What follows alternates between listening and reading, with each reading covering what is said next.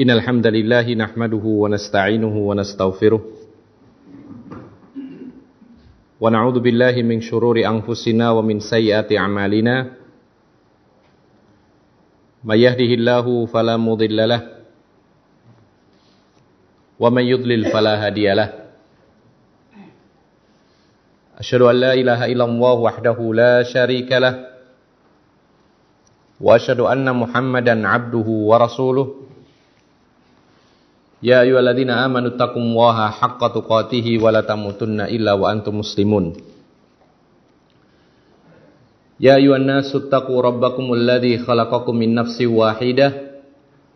wa khalaqa minha zawjaha wa batha minhuma rijalan katsiran wa nisaa'a wattaqullaha alladzi tasaaluna bihi wal arham innallaha kana. يا أيها الذين آمنوا اتقوا الله وقولوا قولا سديدا يصلح لكم أعمالكم ويغفر لكم ذنوبكم ومن يطع الله ورسوله فقد فاز فوزا عظيما أما بعد Ikhwanna fiddin azakumullah Para hadirin dan hadirat yang dimuliakan oleh Allah subhanahu wa ta'ala Pada pagi hari ini InsyaAllah kita akan menyampaikan sebuah materi yang telah dijadwalkan yaitu halal dan haram dalam olahraga.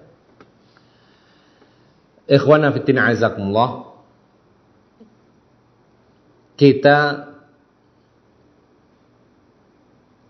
berolahraga. Namun kadang-kadang ada hal-hal yang sifatnya itu menjadikan olahraga menjadi terlarang. Tetapi justru ketika kita mengetahui tujuan daripada hidup ini maka segala sesuatu bisa menjadi pahala. Oleh karena itu, ikhwan fillah azakumullah, olahraga hukum asalnya adalah halal. Karena olahraga ini hukum asalnya memang urusan dunia. Tidak boleh kita melarang kecuali kita membawakan dasar hukum yang jelas. Selama tidak disertai dengan perkara-perkara yang mungkar atau perkara yang terlarang, maka semua jenis olahraga adalah halal atau boleh dilakukan baik untuk orang Islam laki-laki maupun perempuan. Baik itu dengan alat-alat maupun tanpa alat. Maka semuanya hukum asalnya adalah halal. Baik dilakukan laki-laki maupun perempuan. Baik yang namanya sepak bola, bola voli, yang kaitannya dengan bola-bola semuanya. Kita katakan hukum asalnya adalah halal. Kecuali kalau ada kemungkaran di dalamnya maka menjadi haram. Bola basket, apalagi bola kasti, bola api sekalipun, seandainya ada orang main bola api, halal nggak kira-kira? Boleh? Boleh kalau tidak membahayakan. Hanya saja ma'asyiral muslimin rahimakumullah ada memang olahraga-olahraga yang terlarang menjadi haram karena memang di dalamnya ada kemungkaran.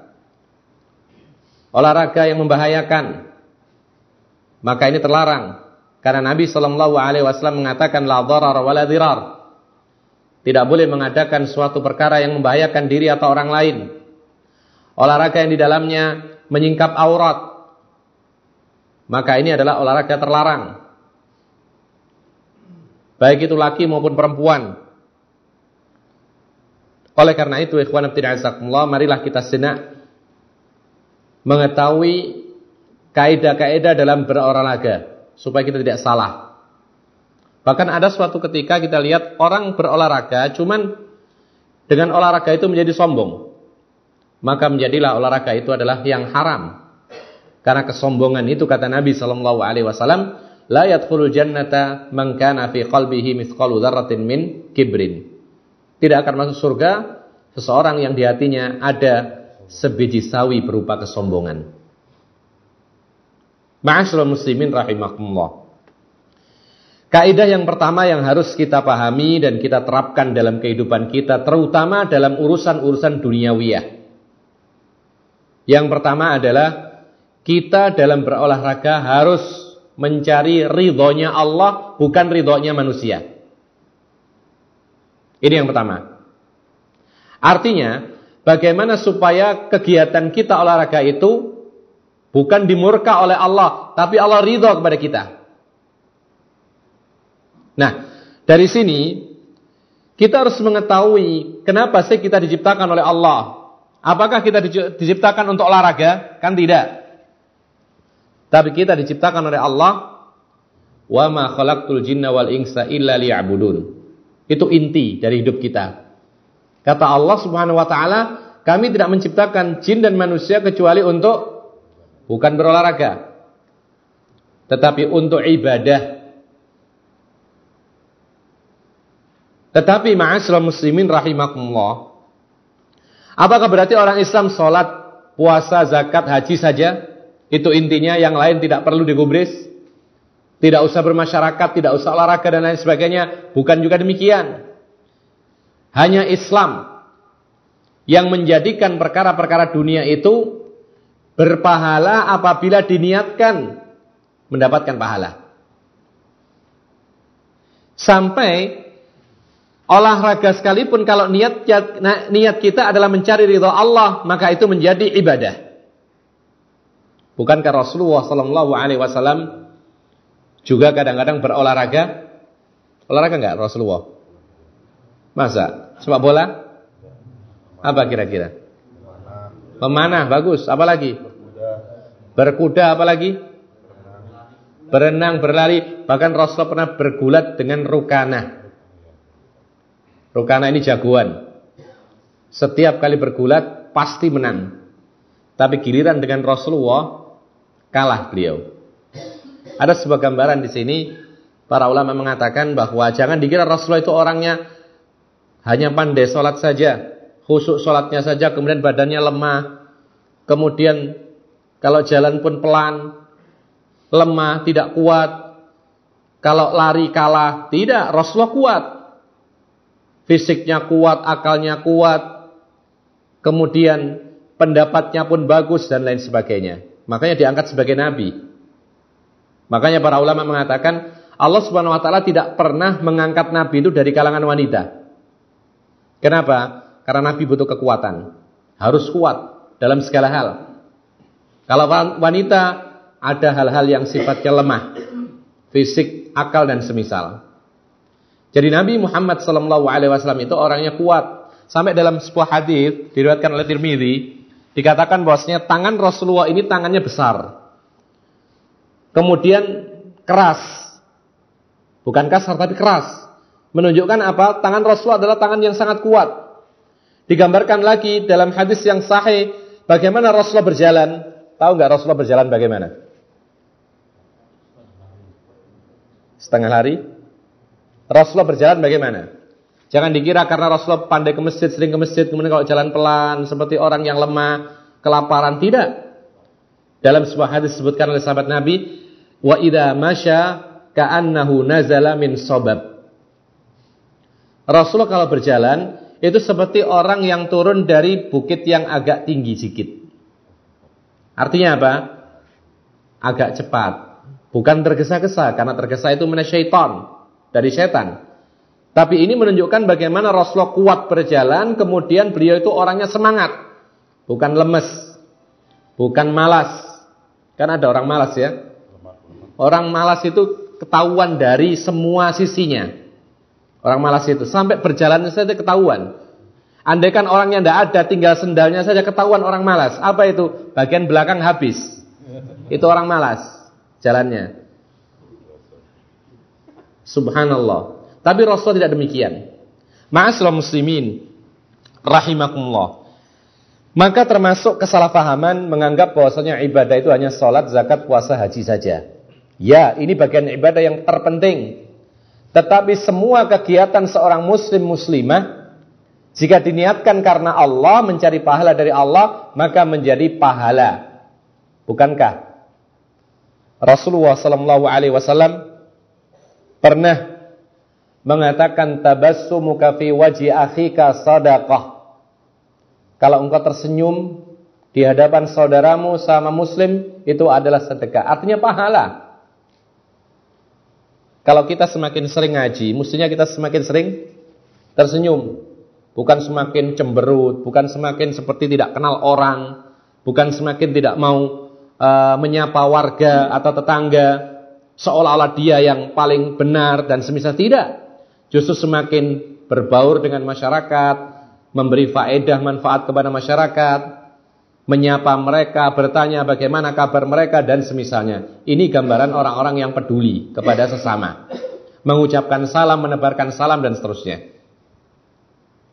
Jadi tersenyum juga sedekah. Bukankah Rasulullah SAW sampai-sampai mengatakan wa fi ahadikum sadaqah?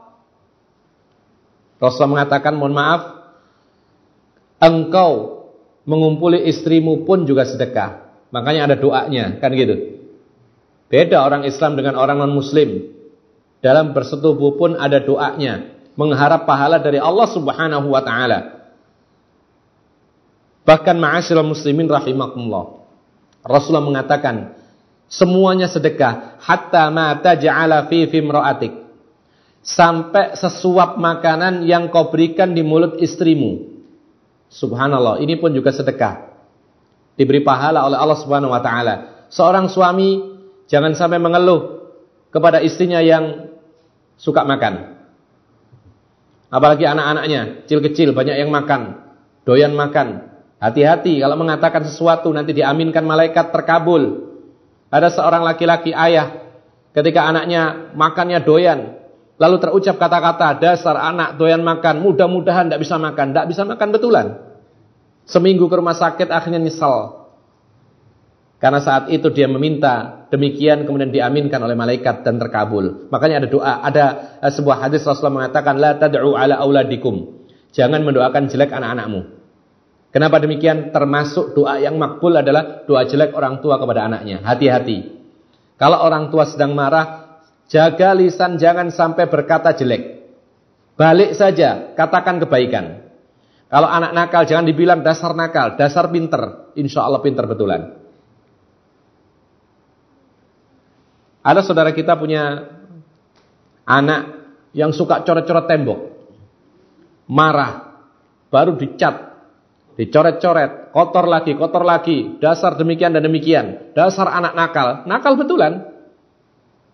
Nanti akan ada bagaimana seorang anak itu tumbuh karakternya karena sering dia dengar ucapan-ucapan yang seolah-olah itu dia menciptakan karakter pada anak itu. Sering mendengar kata-kata nakal dan semisalnya ini menjadikan anak menjadi nakal betulan. Kenapa kita tidak katakan bahwasanya atau kita doakan saja anak yang pandai coret-coret. Kita katakan mudah-mudahan engkau menjadi arsitek. Mudah-mudahan engkau menjadi penulis yang Masya Allah bermanfaat. Ada anak agak rewel sedikit, ikut saja ngomong dengan orang tuanya. Kemudian orang tua marah. Mengucapkan doa yang jelek. Katakan kepada dia mudah-mudahan ya Allah, jadikan anak saya pintar ceramah. Kan gitu. Itu doa, kebaikan. Ma'asyiral muslimin rahimakumullah. Maka yang pertama ini para ulama mengatakan usahakan dalam setiap aktivitas kita mencari ridho Allah. Apa yang diridhoi oleh Allah lakukan, yang tidak tinggalkan.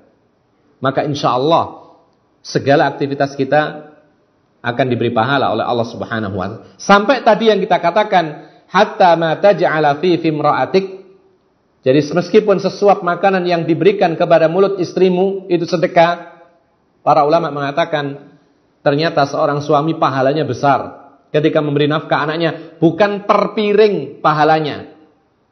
Kita mungkin mengatakan satu bungkus nasi, ini pahalanya satu. Tidak. Setiap suap yang masuk ke mulut istri dan anak-anak kita dihitung pahala demi pahala oleh Allah Subhanahu wa taala. Ma'asyiral muslimin rahimakumullah. Lalu yang keberikutnya dikatakan oleh Syekh Abu Bakar Al-Jazairi Sesungguhnya tujuan semua jenis olahraga yang dikenal dalam Islam adalah dimaksudkan menjadi sebuah alat menegakkan dan membela kebenaran. Bukanlah tujuan olahraga itu hanya mendapatkan harta melimpah ketenaran atau hal yang serupa seperti berbangga diri dan akhirnya menjadi manusia yang rusak di muka bumi sebagai kondisi kebanyakan mereka saat ini. Ini menjelaskan realita. Kebanyakan orang-orang yang menggeluti suatu bidang olahraga tertentu, maka mereka mengabaikan tujuan inti. Mereka menjadikan olahraga itu tujuan, padahal olahraga itu hanya sarana. Sehingga sarana ini seperti hal-hal duniawiyah semata-mata. Kalau tujuannya baik maka baik, kalau jelek maka jelek. Itu maksudnya. Kalau orang berolahraga tujuannya adalah supaya tenar, syuhrah, maka ini termasuk terlarang. Ada lagi orang berolahraga supaya apa? Supaya kaya. Maka ini pun juga tidak akan mendapatkan pahala dari Allah Subhanahu wa taala. Ma'asyiral muslimin rahimakumullah. Yang kedua, usahakan di dalam berolahraga kita harus yaitu melatih kekuatan, kemahiran dan keberanian. Jadi usahakan dalam olahraga itu ada sifat-sifat ini. Jangan olahraga yang sifatnya itu sia-sia. Olahraga apa olahraganya? Catur. Bukan olahraga. Itu membuang-buang waktu. Olahraga, olahraganya apa? Remi, bukan olahraga. Tapi olahraga usahakan olahraga-olahraga yang betul-betul melatih kekuatan fisik. Karena kekuatan fisik berguna nggak kira-kira? Berguna. Termasuk di dalamnya adalah memelihara kesehatan. Masya Allah. Orang sehat itu mahal. Lebih mahal dari harta benda kita. Dan kadang-kadang kita tidak menyadari bahwa kita ini diberikan oleh Allah rezeki yang luar biasa berupa kesehatan. Kemudian kita mengatakan Allah tidak mengabulkan doa saya. Kenapa? Karena dia memintanya minta gaji ditambah. Subhanallah. Di dalam sebuah hadis dikatakan oleh Rasulullah Wasallam, seorang mukmin kalau berdoa selama doanya itu benar, kemudian tidak ada kemaksiatan yang dilakukan, halal haram eh, haram haram ditinggalkan, permintaannya adalah permintaan yang baik, maka pasti dikabulkan oleh Allah Subhanahu Wa Taala. Tapi ingat, Allah mengabulkan satu dari tiga cara yang dikehendaki oleh Allah. Kata Rasulullah bisa kontan. Jadi sesuai dengan permintaan. Ya Allah, naikkan gaji, naik betulan. Ini namanya kontan. Tapi kadang-kadang yang kedua, kata Rasulullah SAW, kadang-kadang dia tidak dikasih yang diminta, tapi Allah memberi dari sisi yang lain. Setimpal dengan permintaannya. Ini yang kadang kita tidak sadari. Kita minta harta, benda. Kadang-kadang kita ingin punya rumah. Karena kita masih ngontrak. Lalu kita berdoa setiap hari, setiap malam minta rumah, minta rumah kepada Allah. Tapi tidak bisa-bisa punya rumah. Lalu kemudian dia mengatakan, berarti Allah tidak mengabulkan doa saya. Kemudian dia tidak lagi berdoa minta rumah. Ini namanya istijal.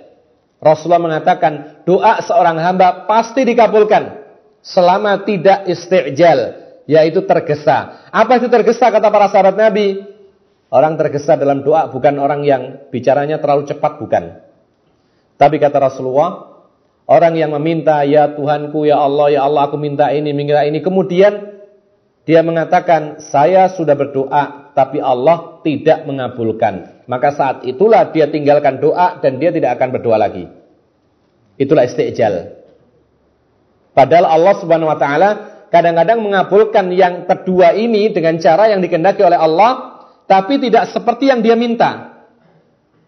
Dia minta kepada Allah gaji naik, tapi Allah tidak memberi gaji naik, tapi Allah memberikan kesehatan yang luar biasa. Yang seandainya dihitung dengan harta, itu berlipat-lipat jumlahnya dari gaji yang naik tadi.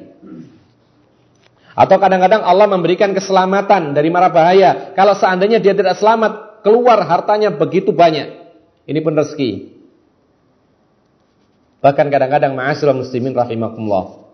Kita tidak sadar diberikan rezeki yang luar biasa. Dan Allah Maha tahu karena mungkin kondisi ekonomi kita pas-pasan gitu loh. Sehingga Allah memberikan rezeki dari sisi yang lain yaitu ketenangan hati. Bukankah ketenangan hati ini rezeki, ikhwan? Betul. Bukankah banyak orang yang kaya raya tapi hatinya tidak tenang?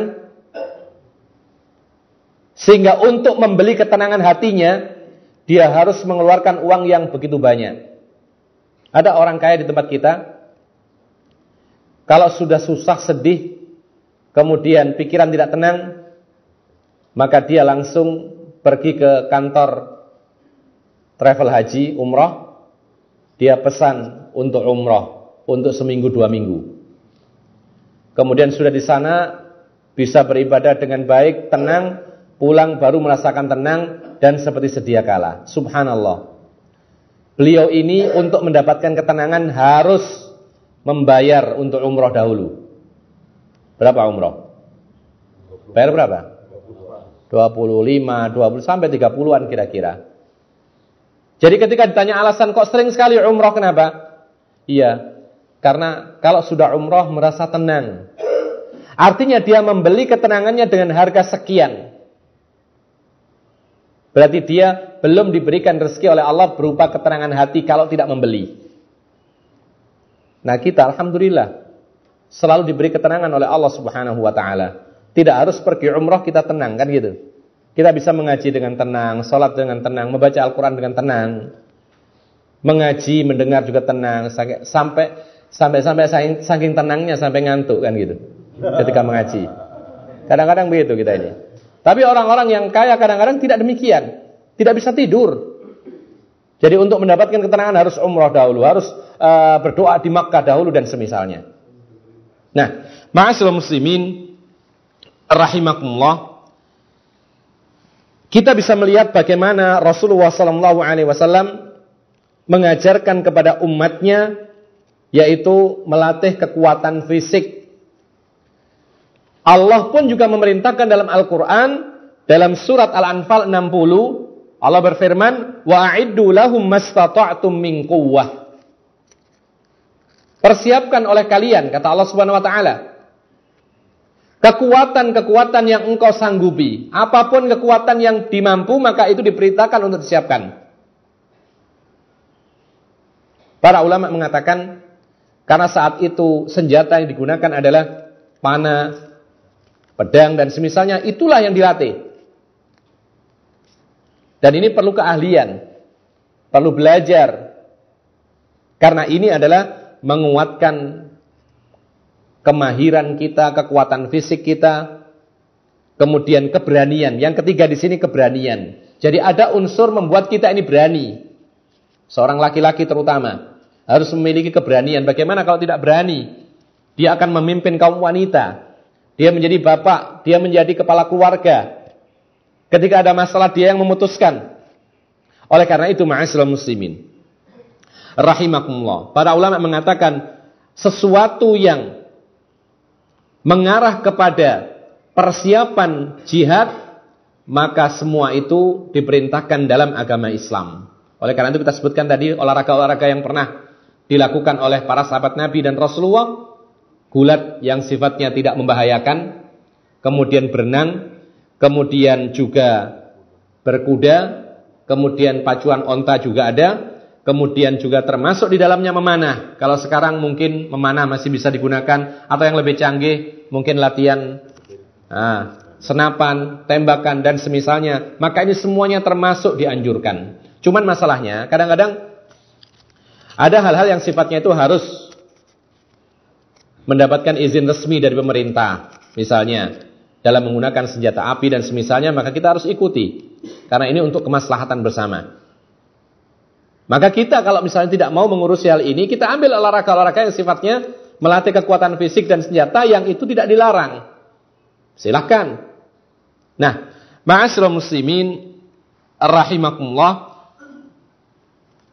Yang berikutnya atau sebelumnya Para ulama mengatakan bahwasanya karena tujuan daripada olahraga itu adalah bukan olahraga itu sendiri. Bukan pula ketenaran, tetapi mempersiapkan fisik dan keberanian serta kemahiran untuk persiapan berjihad. Karena hal ini maka dari itu Rasulullah SAW mengizinkan kaum laki-laki dari negeri Habasyah bermain senjata di dalam masjid Rasulullah dahulu pernah. Jadi pernah dalam sebuah hadis yang dikeluarkan oleh Imam Bukhari dijelaskan bahwasanya kaum laki-laki dari negeri Habasyah yang baru masuk Islam, mereka bermain senjata di masjid Rasulullah. Lalu Aisyah radhiyallahu anha ingin melihat bagaimana kaum laki-laki Habasyah sedang bermain senjata, berlatih, bermain. Maka Abu Bakar ibunya Aisyah radhiyallahu anha melarangnya. Kemudian Rasulullah sallallahu alaihi wasallam membela. Maka Rasulullah Sallallahu Alaihi Wasallam menemani Aisyah sangat lama ditemani sampai-sampai Rasulullah mengatakan sudah selesai belum. Berkali-kali Rasulullah mengatakan demikian. Sampai kemudian Aisyah sudah puas melihat, maka Rasulullah SAW mengatakan sudah selesai, ya sudah kemudian berpaling dari kaum laki-laki Habasyah ini. Ada beberapa ibrah yang terkandung dalam sebuah kisah ini. Para ulama mengatakan yang pertama, bahwa ternyata dahulu masjid boleh dipakai untuk latihan senjata. Cuman para ulama mengatakan ini hanya sekedar boleh, bukan dianjurkan. Bukan berarti kemudian dianjurkan bermain senjata di masjid. Bukan. Tapi ini sekedar boleh. Kenapa demikian? Karena ini terjadi di awal Islam. Kemudian berikutnya, berikutnya tidak lagi dilakukan di masjid. Ketika sudah ada tempat yang lain yang mungkin lebih luas, lebih memadai, silakan dilakukan. Tapi kalau tidak ada, boleh hal itu. Ini para ulama mengatakan seperti orang membahas boleh nggak makan di masjid. Boleh nggak kira-kira? Boleh-boleh saja. Cuman jangan dijadikan warung setiap hari makan gitu loh. Karena masjid dibangun bukan untuk makan. Ya. Tidur, boleh nggak tidur di masjid? Ya boleh-boleh saja. Cuman jangan dijadikan kemudian kamar. Jangan dibuat setiap hari di masjid. Kecuali bagi orang-orang yang ditampung untuk sementara karena nggak punya rumah. Seperti kondisi 70 orang ashabus sufa di Medina. Orang-orang yang hijrah miskin, tidak mempunyai sanak keluarga, tidak punya rumah. Kemudian ditampung oleh Rasulullah di masjid beliau. Jumlahnya sekitar 70 orang. Tidur di masjid, makan di masjid karena tidak punya rumah.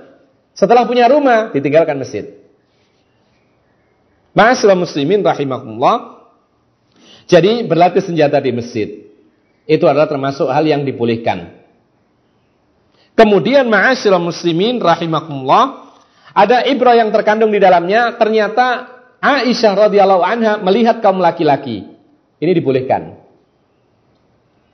Tapi para ulama mengatakan tetap Allah Subhanahu wa taala mengatakan dalam Al-Qur'an ya, wa kullil mu'minati yaghdudna min absarihinna wa yaqfatna furujahunna.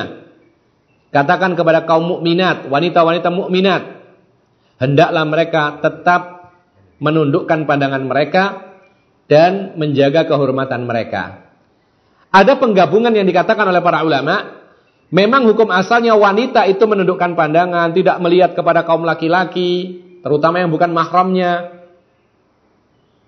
Namun, dalam hal ini ada keringanan bagi wanita ketika ingin tahu apa yang dilakukan oleh kaum laki-laki maka ini masih dibolehkan. Lain halnya dengan laki-laki kepada perempuan. Ini tidak boleh. Kecuali ketika akan menikahinya.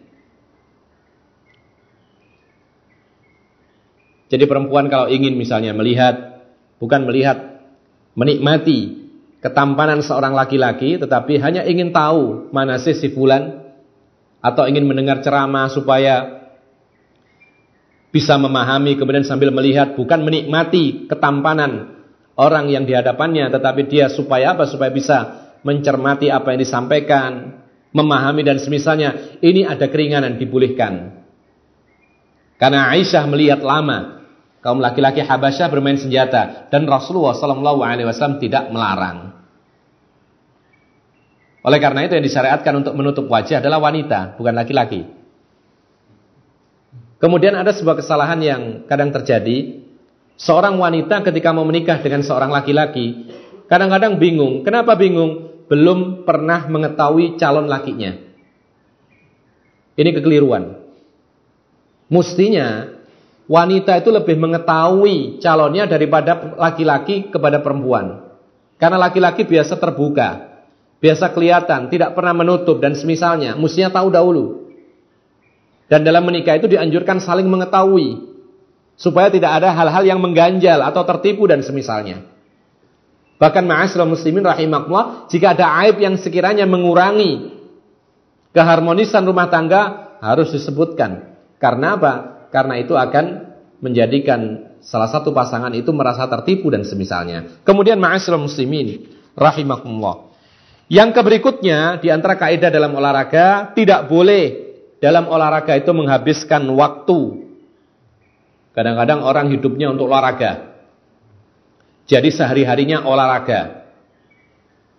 Waktunya hanya untuk olahraga. Kehidupannya untuk olahraga. Pikirannya semua olahraga. Sampai ada seorang pelatih sepak bola itu memberikan doktrin kepada anak-anak asuhnya Ya. Apa yang dikatakan? Dia mengatakan kepada anak asuhnya, kalian-kalian harus menjadi orang yang gila bola. Gila bola. Artinya apa? Ya orang gila. Apa pun adalah bola. Tidak pandang yang lain, pokoknya bola. Dia mengatakan, kalau orang sudah gila bola, maka pasti sukses. Begitu. Ya kalau gila bola ya seperti orang gila. Tidak mengingat apa-apa. Yang benar apa yang terjadi. Karena dia gila bola, akhirnya apa? Tidak ingat sholat, tidak ingat anak istri, dan lain sebagainya. Nah, oleh karena itu, ikhwana fiddina azakumullah, ini termasuk perangkap setan. Manusia dijadikan tergila-gila dengan dunia, terutama olahraga. Yang paling banyak sekarang ini menyita perhatian adalah sepak bola. Makanya ada piala dunia, Piala Dunia sepak bola. Nah, ma'asyiral muslimin eh, rahimakumullah. Sehingga kadang-kadang kita ini terbawa arus. Sampai-sampai sebagian ikhwan pun juga demikian. Kalau kumpul dengan temannya yang dibicarakan adalah Ronaldo. Subhanallah. Bukan yang dibicarakan hadis Rasul.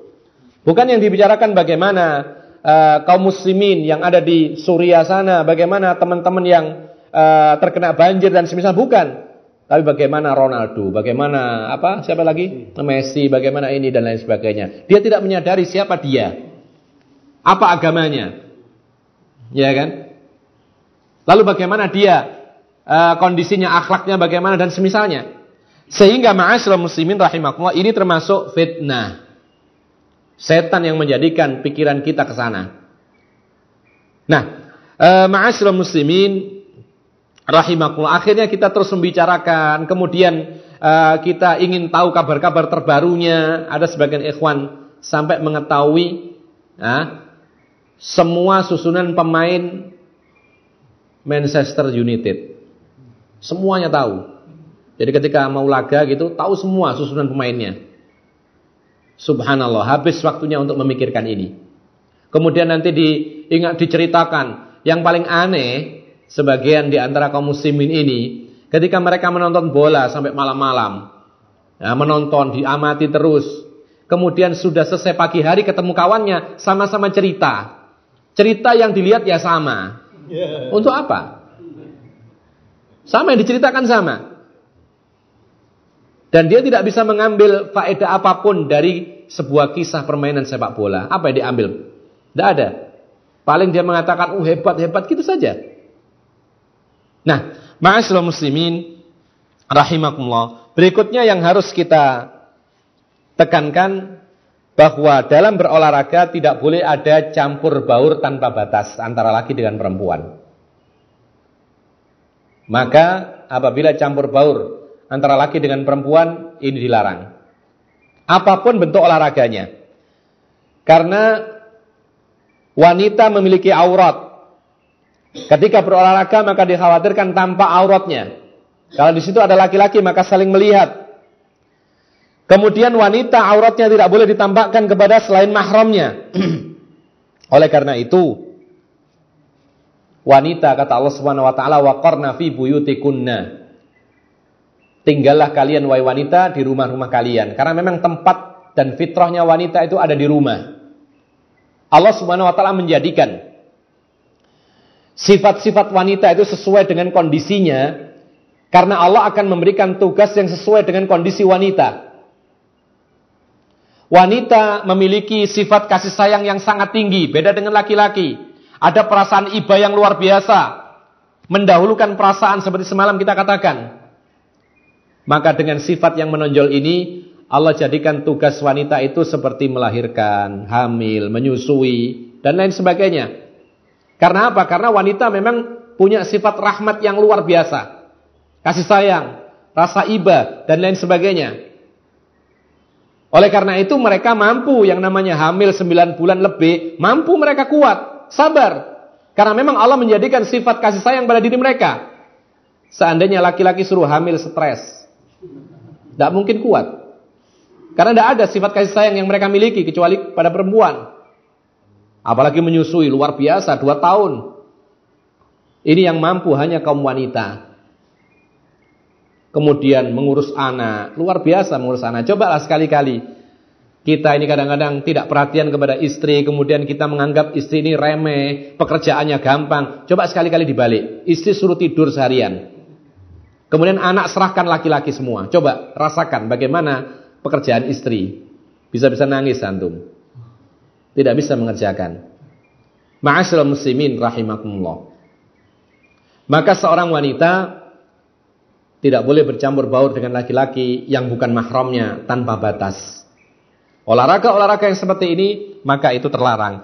E, Ma'asyiral muslimin rahimakumullah, bukan berarti kemudian olahraga terlarang bagi wanita, bukan. Boleh olahraga, boleh senam, apalagi wanita olahraganya. Ya? Boleh lari-lari. Apalagi biasanya? Sepak bola boleh? Perempuan sepak bola boleh? Nah, kenapa nggak boleh? Paling tidak ini identik dengan kaum laki-laki atau tidak layak bagi wanita. Artinya, tidak bisa kita melarang wanita untuk berolahraga selama terpenuhi syarat-syaratnya. Boleh nggak renang wanita? Hah? Boleh, lomba renang. Nah, kalau memang khusus wanita, boleh. Nah, dan mereka juga pengen juga berenang, gitu loh. Sebagaimana laki-laki. Jadi kadang-kadang laki-laki, kita ini kadang-kadang tidak memikirkan bagaimana perasaan perempuan. Kadang-kadang perempuan itu ingin juga merasakan apa yang dirasakan oleh laki-laki. Makanya dalam Islam, Rasulullah mengatakan, La tamna'u ima Allahi masajidahu. Jangan dilarang wanita-wanita kalian itu kalau ingin ke masjid. Jangan dilarang. Loh kenapa demikian? Kan wanita itu tempatnya di rumah kata Allah dalam Quran tadi. Para ulama mengatakan, karena wanita kadang-kadang bosan di rumah. Wanita kadang-kadang salat sendirian di rumah bosan. Maka ingin sekali merasakan nikmatnya salat bersama sang imam di masjid. Jangan dilarang. Kalau terpenuhi syaratnya. Menutup aurat ketika berangkat, ketika pergi, tempatnya aman. Kemudian tidak bercampur baur dengan kaum laki-laki. Sampai-sampai Rasulullah SAW memerintahkan kalau ada salat laki dengan perempuan, keluarnya pun pintunya beda. Kata Rasulullah demikian. Sehingga tidak terjadi percampuran antara laki dengan perempuan yang bukan mahram. Sampai-sampai dalam sholat Rasulullah mengatur saf. Sebaik-baik saf bagi wanita yang paling belakang. Sebaik-baik saf bagi laki-laki paling depan. Kenapa demikian? Kalau laki-laki yang paling belakang, perempuan paling depan berdekatan sehingga bisa jadi saling pandang, terfitnah dan lain sebagainya. Karena fitnah wanita itu adalah fitnah yang paling besar yang ditinggalkan oleh Rasulullah untuk kaum laki-laki. Ma'asyiral muslimin rahimakumullah. Makanya para ulama mengatakan ada sebagian para ulama mengatakan fitnah wanita itu lebih besar daripada fitnah harta. Memang semuanya fitnah ya, ujian. Tapi fitnah wanita itu lebih besar daripada fitnah harta. Sampai ada seorang ulama mengatakan, jangan saya disuruh menjaga harta benda rumah mewah yang semua isinya lengkap. Eh, silakan. Saya disuruh menjaga rumah mewah, harta benda lengkap yang banyak isinya Serahkan kepada saya, saya jaga boleh. Tapi jangan sampai saya disuruh menjaga seorang budak wanita. Kenapa demikian? Karena wanita itu adalah fitnah bagi laki-laki. Makanya wanita ketika keluar musafir harus ada mahramnya. Ini untuk menjaga mereka, bukan untuk mengekang mereka. Wanita dianjurkan memakai hijab yang syar'i, bukan mengekang mereka, tetapi untuk melindungi mereka dan memuliakan mereka. Bukankah wanita pada zaman jahiliyah dijual, disewakan, seperti menyewakan eh, kendaraan dahulu itu. Tetapi ketika Islam datang dimuliakan, dihargai, diberikan warisan. Dahulu pada zaman jahiliyah tidak dapat warisan sama sekali. Bahkan dalam eh, perkataan para ulama, dahulu wanita-wanita jahiliyah kalau suaminya meninggal dunia dahulu, ya, suaminya meninggal dunia, maka sang wanita ini itu sama dengan hartanya sang laki-laki. Maka wanita ini sekarang menjadi milik keluarga laki-laki. Ini dahulu dalam jahiliyah. Sehingga apa? Sehingga bebas keluarganya kaum laki-laki ini seperti menjadikan dia budak. Kalau mau menikahkan, maka mereka tidak akan menikahkan kecuali mendapatkan keuntungan. Atau kalau tidak demikian, dipekerjakan. Seolah-olah menjadi budak bagi kaum laki-laki. Itu dahulu. Namun ketika Islam datang, maka seorang wanita yang ditinggal mati oleh suaminya adalah seorang wanita yang merdeka biasa. Boleh dinikahi. Bahkan dinikahi oleh saudara almarhum. Boleh kira-kira. Dinikahi oleh saudara almarhum Seorang wanita dinikahi oleh saudaranya saudara almarhum? Boleh. Karena keharaman itu hanya sementara ketika masih menjadi suami istri. Tapi ketika sudah berpisah, ketika ditinggal mati, maka boleh dinikahi oleh saudaranya, pasangannya. Nah, ma'asyiral muslimin rahimakumullah. Ketika orang berdalih olahraga, tetapi di sana ada campur baur laki perempuan seperti fitness, ya. Kadang-kadang ada percampuran laki-laki dan banyak sekali kasus perselingkuhan. Gara-gara apa? Gara-gara ketemuan di di fitness. Jadi kalau fitness ya fitness, tetapi harus sendiri-sendiri, laki sendiri, perempuan sendiri. Jadi ada sendiri-sendiri, tidak boleh bercampur. Ada sebuah kisah yang akhirnya menjadikan perceraian. Ya, seorang laki-laki salih mempunyai istri yang salihah. Kemudian sang istri diajak ikut klub fitness yang tadinya salihah. Kemudian di sana kenal dengan seorang laki-laki yang lebih gagah dari suaminya. Orang fitness kan besar-besar badannya ya. Masya Allah, gempal. Kan gitu. Tertarik dengan orang tersebut. Akhirnya apa? Akhirnya berkenalan, berkenalan. Akhirnya kemudian berselingkuh. Ini terjadi demikian ini. Dan itu di antara saudara-saudara kita sendiri. Benarlah apa yang dikatakan oleh Nabi Sallallahu Alaihi Wasallam bahwasanya sebesar-besar fitnah bagi laki-laki adalah fitnahnya kaum wanita. E, muslimin rahimakumullah.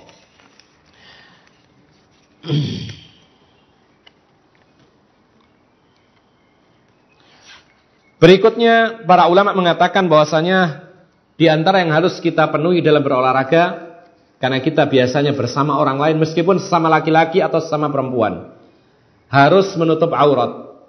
Jadi laki-laki harus menutup aurat. Auratnya laki-laki antara pusar sampai lutut. Jadi paha termasuk aurat. Rasulullah SAW melihat salah seorang sahabatnya pahanya tersingkap. Rasulullah mengatakan, "Ghatti anka fakhidak fa inal fakhida aurah."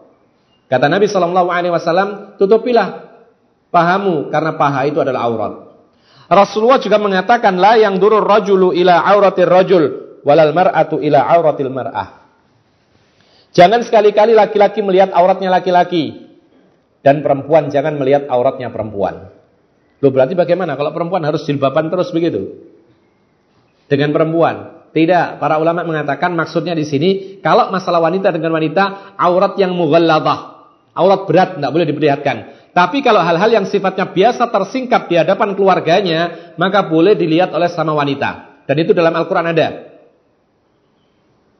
Tidak mengapa bagi wanita di hadapan uh, suaminya, ayahnya, kemudian uh, apa namanya uh, kakaknya atau keponakannya dan semisalnya. Kemudian Rasulullah mengatakan dan sesama kaum wanita mereka boleh. Jadi kalau olahraga tidak berjilbab, kalau sesama perempuan boleh gak? Hah? Perempuan olahraga bersama-sama kaum perempuan tidak berjilbab, boleh? Ya boleh. Karena dalam Al-Quran disebutkan bersama sesama kaum mukminat. Kami ingin bertanya, seandainya dalam pengajian tempat laki khusus, perempuan khusus, tertutup perempuannya, ya, kemudian gerah panas tempat perempuan, kemudian melepas silbab, boleh nggak kira-kira? Ya boleh, tidak ada masalah. Cuman masalahnya sekarang masalah pantas atau tidak ini urusan lain. Tapi sebenarnya tidak ada masalah. Karena sesama wanita sebagaimana di hadapan keluarganya. Nah, ma'asyiral muslimin rahimakumullah, oleh karena itu kita harus melihat Bagaimana kaum laki-laki menutup aurat di hadapan laki-laki? Kalau laki-laki tidak ada keringanan, yaitu auratnya sudah ringan, yaitu antara pusar sampai lutut. Ini harus harus ditutup. Jadi kalau main bola, usahakan pakai yang panjang, ya, pakai training, pakai apa? Celana yang panjang menutup lutut, tapi jangan kelebihan sampai isbal, tidak boleh, ya. Jadi ma'asyiral muslimin rahimakumullah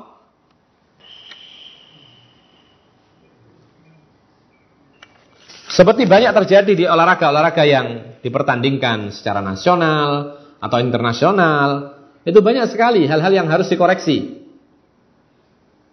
Di antaranya adalah masalah aurat. Ada lomba-lomba yang sifatnya itu betul-betul membuka aurat seperti kadang-kadang renang.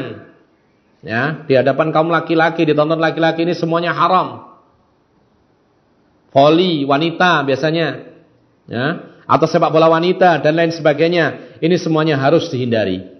Karena dia mestinya mencari ridho Allah, tetapi di sini mendapat murka dari Allah. Meskipun manusia ridho, tetapi Allah Subhanahu Wa Taala tidak ridho. Kemudian ma'asyiral muslimin rahimakumullah. Harus kita tekankan pula bahwasanya aturan-aturan dalam olahraga yang kita gemari itu tidak menyelisih syariat. Apabila ada aturan yang menyelisih syariat, maka harus ditinggalkan.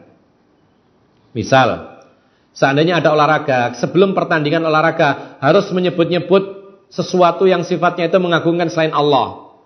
Ya. Kadang-kadang begitu, mungkin olahraga apa begitu, bela diri apa begitu namanya. Ada simbol-simbol yang harus diucapkan. Dan kalau kita artikan itu kesyirikan misalnya, maka ini dilarang. Atau ada gerakan-gerakan yang sifatnya itu adalah terlarang dalam agama Islam. Apa contohnya?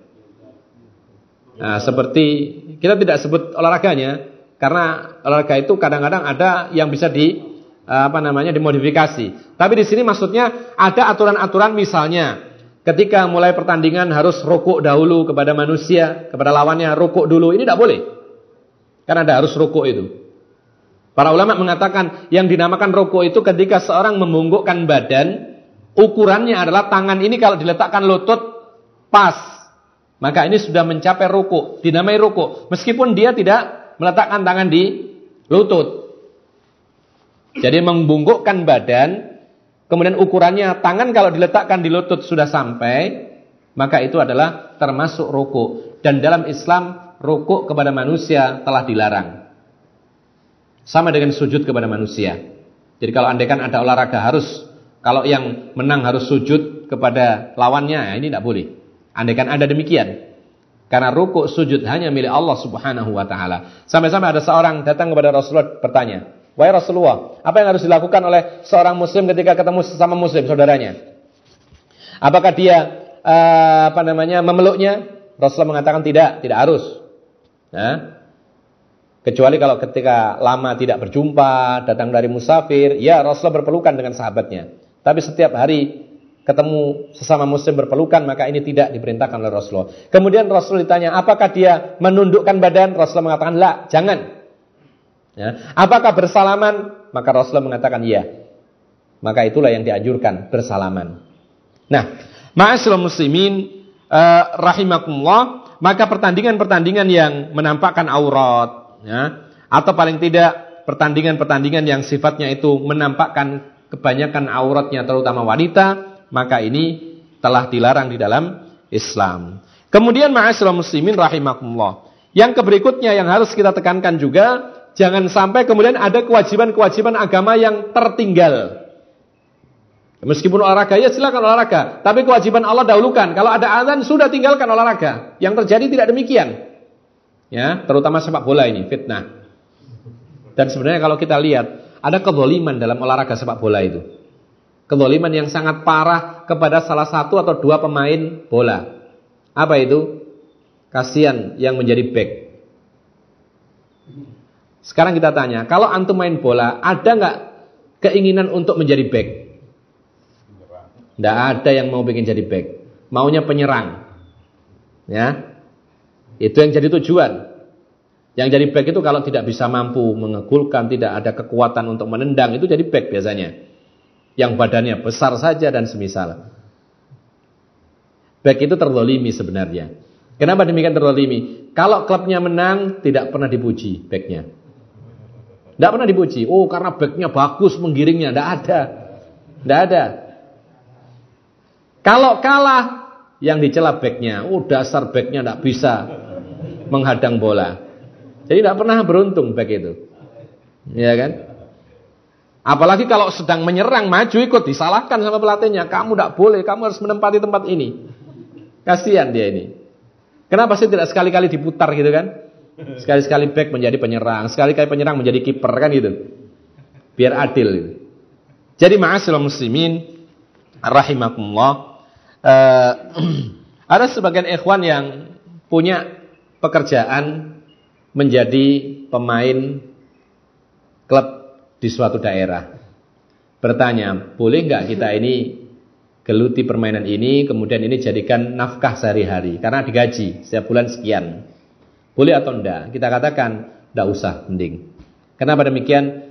Pasti akan meninggalkan sebagian sholat berjamaah. Paling tidak jamaahnya ketinggalan. Kalau mau sholat di lapangan. Ya kan? Kalau tidak mau sholat di lapangan, pasti meninggalkan kewajiban sholat. Kita tanya kemudian, e, kalau latihan jam berapa? Setiap hari latihan. Jam berapa? Asar sampai maghrib. Taib, tidak ada masalah. Sholat asar, iya. Maghrib masih sholat. Jamaah, kadang-kadang. Nah, ini masalah.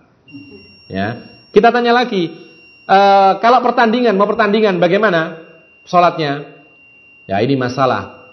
Dia mengatakan, e, kita harus kumpul paling tidak jam 2 siang. Kalau mau pertandingan. Jam 2 siang kumpul di rumah teman atau di uh, apa namanya di kantor dan semisalnya, kemudian ngobrol membahas strategi dan sebagainya.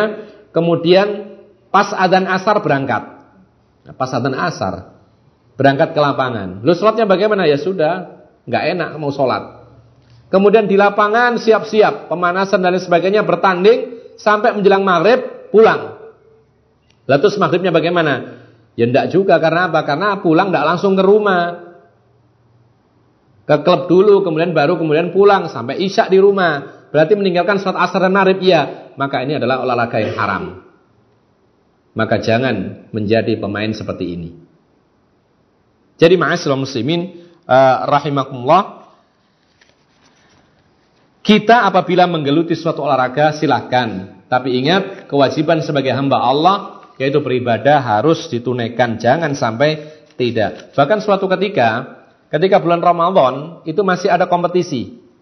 Ya maka terpaksa berbuka sebelum waktunya. Karena waktu main itu biasanya sore ya. Jam-jam 3, jam-jam setengah 4. Mereka bersiap dengan apa? Minum. Berarti mereka membatalkan puasa untuk olahraga. Dibalik. Puasa itu ibadah. ya. Berarti ibadah itu tujuan hidup. Olahraga itu adalah sarana. Sekarang kalau dia berbuka untuk olahraga, berarti dia menjadikan olahraga tujuan hidupnya, kemudian diabaikan ibadahnya. Boleh nggak membatalkan puasa untuk main bola? Ya nggak boleh. Bahkan ma'asyiral muslimin rahimakumullah, orang yang sudah melaksanakan ibadah, puasa, wajib, kemudian membatalkan tanpa ada urusan, tanpa ada alasan yang benar, bukan musafir, bukan pula sakit dan lain sebagainya, maka dia berdosa. Allah Subhanahu wa taala mengatakan, "Ya ayyuhalladzina amanu Ati Allah wa ati Rasulullah wa la tubtilu amalakum.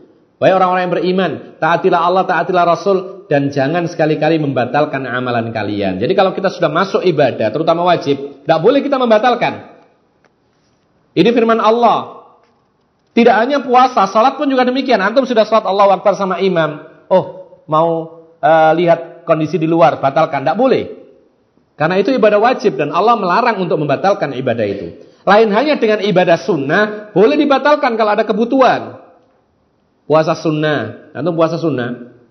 Apa puasa sunnah? Sunnah kemis atau senin kemis. Ya, bagus sudah mulai sahur. Lalu kemudian menjelang duhur ditelepon sama Bang Farid, eh nanti makan. Nah, antum batalkan boleh nggak kira-kira? Ya boleh, karena puasa sunnah. Antum tetap berpuasa juga tidak apa-apa. Antum sampaikan, maaf saya puasa, tidak bisa hadir. Boleh. Tapi masalahnya sekarang kan tidak setiap hari undangan seperti ini. Ya kan? Dan Rasulullah pun juga pernah membatalkan puasa sunnah. Karena makanan. Ya. Rasulullah suatu ketika pernah puasa, kemudian masuk rumahnya Aisyah atau kamarnya Aisyah. Kemudian bertanya, ada makanan? Ya ada. Coba lihat-lihat. Kemudian dimakan oleh Rasulullah. Padahal kata Aisyah radhiyallahu anha, uh, Rasulullah mengatakan, ini kuntu iman. Tadinya saya ini puasa, tapi karena melihat makanan, saya ingin, saya butuh, maka dibatalkan. Karena memang puasa sunnah. Tidak ada masalah. Dan tidak perlu mengkodok. Lain halnya dengan kewajiban, kalau kita sudah masuk kepada kewajiban, haram hukumnya membatalkannya. Kecuali kalau ada kondisi yang mendesak darurat. Ya. Sholat. Di tengah sholat, kita apa misalnya? Nggak, kita di tengah sholat kemudian tiba-tiba ada suara di luar sana yang agak mengganggu. Kita batalkan nggak sholat kita? Kita tidak tenang ini. Ada suara yang mengganggu.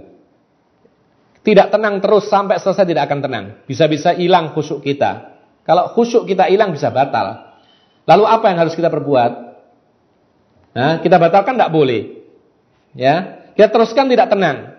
Bahkan hilang khusyuk kita. Solusinya adalah menoleh sebentar. Menoleh sebentar. Oh, cuman itu nggak apa-apa. Teruskan sholatnya. Karena ini sholatnya wajib. Dan menoleh dalam sholat itu para ulama mengatakan hukum asalnya makro Sehingga kalau makro menjadi boleh apabila ada kondisi mendesak atau kebutuhan yang sangat. Rasulullah pernah kok ketika mengimami sholat. Sebelum mengimami sholat dia mengutus tentara untuk berangkat perang. Maka Rasulullah sholat kemudian sambil melihat. Oh ya sudah diteruskan sholatnya. Para sahabat Nabi pernah melihat bagaimana Rasulullah memimpin sholat. Ya. Sahabat Nabi mengatakan romaktu salatan Nabi Shallallahu Alaihi Wasallam. Saya betul-betul memperhatikan salatnya Rasulullah. Ini di tengah salat. Artinya apa? Beliau ini berada di belakang atau samping. Pastilah dia tidak akan melihat tempat sujudnya. Melihat kepada Rasulullah. Kalau yang ada di samping kiri, maka dia akan melihat ke sana. Ke kanan. Maka ini diperbolehkan ketika ada hajat kebutuhan. Ma'asyiral muslimin eh, rahimakumullah. Kemudian juga para ulama mengatakan bahwa tidak boleh kita kemudian mengagumi yaitu bintang-bintang olahraga yang dalam hal agama dan akhlak tidak jelas. Tidak boleh. Dan sekali lagi ini adalah fitnah. Anak-anak kecil di antara anak-anak kita sekarang terfitnah juga. Yang disebut-sebut adalah pemain-pemain kafir. Bukan orang-orang yang saleh. Yang disebut adalah tadi sedikit-sedikit Ronaldo. Mainnya begini begitu, kemudian mencetak gol sebanyak ini, menggiring bola luar biasa. Ya. Kuat mainnya, larinya kencang dan lain sebagainya. Padahal ma'asyiral muslimin rahimakumullah. Kalau kita mau jujur, kalau kita mau belajar, ada orang-orang lebih hebat dari dia. Dan mereka adalah orang Islam. Dan kehebatannya itu untuk manfaat Islam. Bukan hanya untuk uang kalau mereka yang bermain bola kan untuk uang, kekayaan pribadi. Tapi ada sebenarnya kalau kita mau mempelajari tokoh-tokoh Islam yang bermanfaat dengan kekuatan fisik mereka. Kehebatan mereka. Bukankah di sana ada seorang bernama Usama bin Zaid? Masya Allah kalau kita mau tahu Usama bin Zaid ini kehebatannya luar biasa. Kita bisa melupakan tokoh-tokoh kafir. Dan itu harus kita lupakan. Bagaimana beliau itu memimpin peperangan kaum muslimin menjadi panglima perang pada umur 18 tahun. 18 tahun baru balik. 15, 16, 17, 18. Masih sangat muda, memimpin peperangan yang besar, menaklukkan kaum kafir atau negara kaum kafir. Umur 18. Sekarang kalau kita tanya, di antara kita umur 18 masih ngapain? Ya?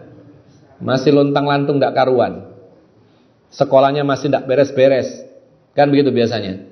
Tapi seorang sahabat Usama ibnu Zaid menjadi panglima perang. Bahkan disebutkan oleh para ulama, di dalam tentara itu ada sahabat-sahabat yang senior.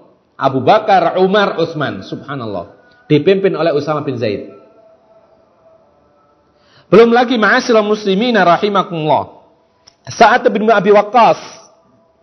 Beliau ini ketika umur 17 tahun ikut jihad memerangi orang-orang kafir dan dia adalah orang yang pertama melontarkan anak panahnya kepada kaum kafir. Orang pertama kali tercatat dalam sejarah. Umur 17 tahun. Berperang dan dialah yang pertama kali melontarkan anak panah atau memanah orang kafir. Sehingga dia uh, bersejarah dan bermanfaat dengan umur yang sangat-sangat belia ini. Kemudian ma'asyiral muslimin rahimakumullah, Khalid bin Walid. Siapa yang tidak kenal Khalid bin Walid? Antum mengenal insyaallah? Apa yang antum kenal Khalid bin Walid? Kenapa dengan peperangan yang dipimpin? Strategi bagus. Apa lagi? Hah? Apa lagi? Satu lagi yang disebutkan oleh para ulama dan jangan dilupakan ini. Kalau tawaduk tidak ada kaitannya dengan perangan. Bahkan dalam peperangan itu para ulama sebagian mengatakan kalau bisa menampakkan diri besar. Yang tadinya lemah kuatkan gitu. Supaya orang-orang kafir takut. Ya. Nah, para ulama mengatakan bahwa Khalid bin Walid ini adalah satu-satunya panglima perang. Ketika dia memimpin perang, itu tidak pernah kalah. Baik ketika masih kafir, memimpin tentara kafir, maupun sudah Islam apalagi. Jadi setiap peperangannya itu tidak pernah kalah.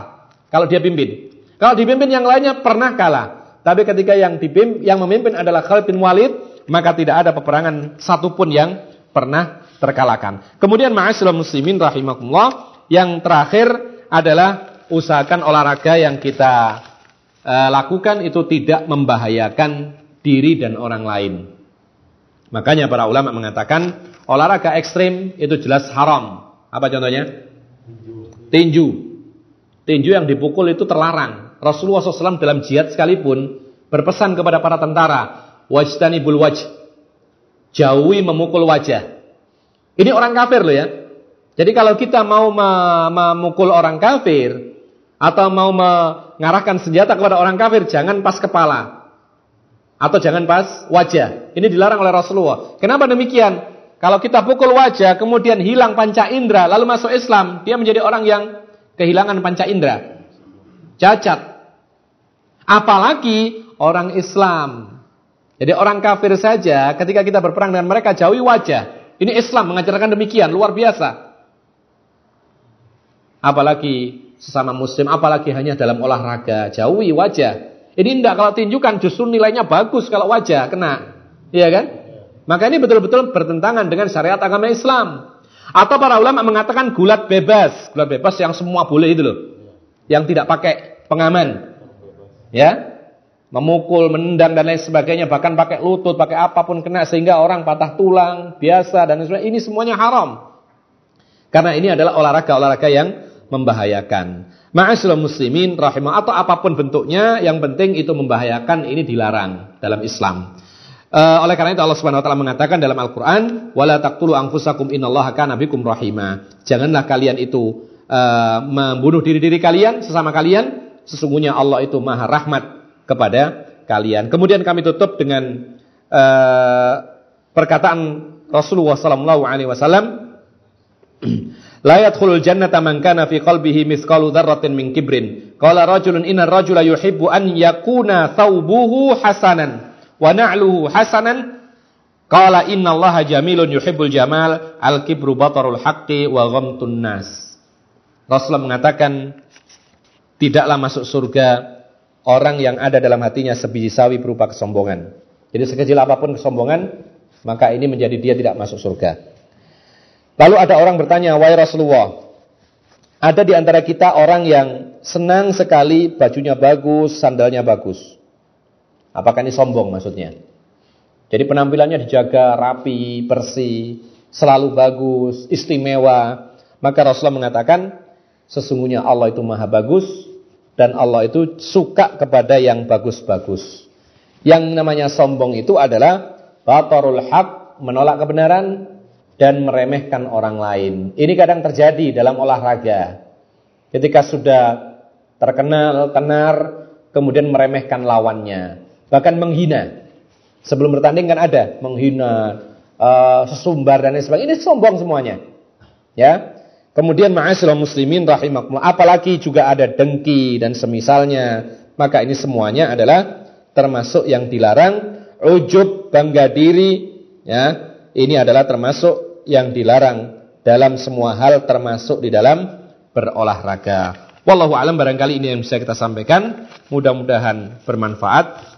Dan apabila ada yang bertanya mungkin habis waktunya Sudah suruk ya? Sudah suruk. Kalau nggak ada kita cukupkan, tapi kalau ada ya nggak apa satu dua. Ya satu silakan. Uh, pertanyaan Nana, tatkala kita berkumpul dengan sesama Muslim, ya. atau muslimah lah, hmm. Ini wanita-wanita muslimah, dia bisa menanggalkan jilbabnya. Adapun dengan wanita kafir, bolehkah kita menanggalkan jilbabnya? Ya. Itu sering dilalaikan sama muslimah. Ya. Adapun perempuan bersama perempuan muslimah sama maka ini tidak ada masalah. Au nisaikum au ma malakat aimanukum. Kata Allah Subhanahu wa taala, baik kepada kaum wanita sama kalian maupun kepada budak-budak kalian. Adapun di hadapan wanita-wanita kafir, Yahudi, Nasrani dan lain sebagainya, maka terjadi perbedaan pendapat. Ya. Sebagian mengatakan boleh, Kenapa demikian? Karena intinya di situ adalah wanitanya, sifat wanitanya bukan kekafirannya. Patokannya adalah wanita, karena sama wanita tidak seperti laki-laki maka dibolehkan. Namun sebagian yang lain mengatakan tidak boleh. Ya. Kenapa demikian? Karena Allah hanya menyebut sesama kalian, berarti perempuan mukminah saja. Tidak boleh. Perempuan membuka jilbab di hadapan wanita kafir. Ini pendapat yang kedua. Nah, untuk kehati-hatian maka kita mengambil pendapat yang kedua yaitu tidak boleh seorang wanita muslimah membuka sebagian auratnya di hadapan kaum wanita kafirah. Wallahu alam bisawab. Ya, mungkin ini yang bisa kita sampaikan. Mudah-mudahan bermanfaat dan mudah-mudahan kita bisa menjalankan aktivitas kita sesuai dengan ridhonya Allah Subhanahu wa taala. Wa akhiru da'wana alhamdulillah alamin. Wassallallahu ala nabiyyina Muhammad wa ala alihi wa sahbihi ajma'in. Wassalamualaikum warahmatullahi wabarakatuh.